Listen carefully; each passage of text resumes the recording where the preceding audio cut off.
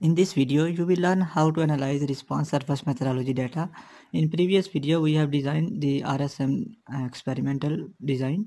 So firstly, we open that design and go to open design and select that file.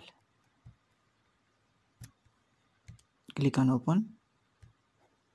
So this is the design uh, for optimization of independent variables and you can watch my previous video if you are uh, new to this program. So firstly we start analyzing this data but before this uh, i forgot to mention one thing in previous video that after you have designed this experiment go to this graph columns and here you can uh, see that there correlation of independent variables. So if there is a strong correlation between these independent variables then it can negatively affect our model so firstly we check either there is a correlation between these uh, independent variables or not so here uh, selected are surfactant concentration and homogenization time. You can see here their correlation is zero. Mm, so that's good for us. And additionally you can find a table here. You can see here there is only self correlation between these variables and mm, no correlation exists between any two independent variables. You can also uh, check uh, the correlation between two from here. You can change this option. For example instead of homogenization time i change it to oil content. And here you will see that this correlation value is zero. So let's start analyzing this data. In analysis select a response one by one. So firstly we select droplet size.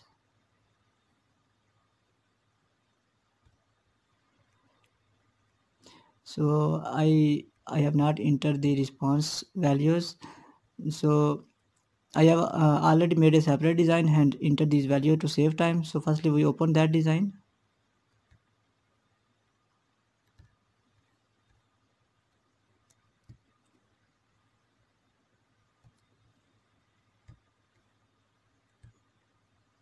If you want to enter this value you can pause this video and uh, enter these values and you can also run this experiment and then enter the response value in these sections. Then we start analyzing this data. In analysis menu first select this response. Here different sets of commands are um, sequentially arranged. So we will arrange um, analyze this data by following these tabs one by one. First tab is transformation. You can see here that uh, here the option shows transformation. None because we don't need transformation. The value ratio of maximum to minimum is 1.60 and if this value is greater than 10 then transformation is required. So in this case no transformation is required. So we go to next tab which is fit summary. Here you will find uh, different models uh, and uh, these uh, analysis suggest which model is best for your data and here you will find display option. For example if you want to display single table you can click here. If you want that four table are displayed in a single screen then you can see here four tables are displayed. I will use this one because uh, it will give a clear look for you. First is the fit summary. You can see here that software uh, suggests that quadratic model is best for our data and we cannot use uh, cubic model because that is aliased so next go to next here tab sequential model sum of square. The sequential model sum of square shows how terms of increasing complexity contribute to the total model and significance of adding the quadratic terms to the mean block linear and two factor interactions already in model so uh, here is also uh, um, the explanation is given that select the highest order polynomial where the additional terms are significant and the model is not aliased. So we will select that terms up to that terms where these are significant and the model is not aliased. You can see here that here uh, it's just that we can include quadratic terms in two factor interaction linears and means but we cannot include the cubic terms so here uh, we it is also suggests that quadratic model is suitable for our data. Next go to lack of fit test. Lack of fit test uh, indicate that independent variables has considerable effect on the response if its value is uh, non-significant. So lack of significance test and the selected model should have insignificant data lack of fit. So here you can see that uh, it has a non-significant lack of it so it's just that quadratic model is suitable. Then at the end model summary statistic is here. And overall you can see here that r square value is higher for this and there is uh, adjusted and predicted r square reasonable agreement and they have lower standard deviation. So and the press value is also given here. You can see here from this all table that the one model which is suitable for our data is quadratic and it is also highlighted by this software. Next we move to uh, this tab which names this model. Here these are different uh, terms which will be used in in this model. And there is also option uh, if you want to include some terms you double click on this and here you can see that this term is selected. If we again double click on this this is unselected and if you uh, uh, think that some terms are insignificant and you want to remove this model just click, double click on this and those terms will be removed. Similarly you can add these terms. Here another option is process order. You can uh, change the model but uh, mostly we the model remain the same. But sometimes software suggests two models at this at that case you can change this model from using this option so i uh, will not change this option because uh, our software suggests quadratic model for our data. So that's good. That's okay. Next we move to next section which is ANOVA analysis. And here i will select single table display. Firstly this table is analysis of variance. You can see here that uh, this indicates the effect of individual terms on the response variable which is the particle size uh, in this case overall you can see that model is significant so that's good for us.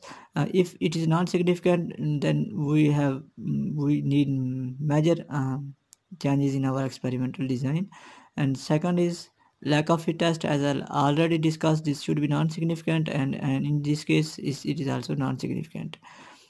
Now we will see what are the effect of uh, their linear terms their interactions and quadratic terms. You can see here these are um, the value less than 0.05 indicates significant effect and software also compiled these values you can see here uh, in p value you can see here it is written that Factor A, B, C. A indicate mixed surfactant, B indicate homogenization time and disperse phase and their quadratic terms of A square and B square are significant. So you can also see from p value and also see here software also compile this value. So you can use this to indicate which is the significant or non-significant terms. In ANOVA, uh, tabs and if you go to fit statistic you will find uh, these different values. One thing is important in this the r square value this should be uh, more than 0.7 and in this case it is 0.95 that's good. And another is the, the difference between adjusted r square and predicted r square. And you can see here that uh, the software explanation is given here. The predicted r square of it is reasonable agreement with the adjusted R square their difference is less than 0.2 and here is the uh, value of adequate precision. A ratio greater than 4 is desirable and it is all it is 20 that's very good. And here you can see the CV value which is also lower 2.97 so overall our uh, this you can see that this model is very good. So in this model comparison statistics you will find the value of press bic aic that is not mostly used uh, and if you need then you can use this table. Then you uh, go to coefficients. It is very important. Uh, it indicates these values and uh, if you kept the other terms constant then it uh, include the unit change when you change this value what type of change will occur if all other factors remain constant? Here is also explanation is given here. The coefficient estimate represents the expected change in response per unit change in factor value when all remaining factors are held constant. So for after that this is the coded equation. You uh, the coded mean the values are in positive and negative terms. So that is not actual change but it is the relative effect of these independent variables. And if you uh, want actual uh, what type of actual change will appear you will see this uh, equation which is the actual equation of this. And you can if you have independent variables value you can put in these equations and you can get the droplet size at that independence variable. So that is the regression equation for our model. And in this particular case this is for droplet size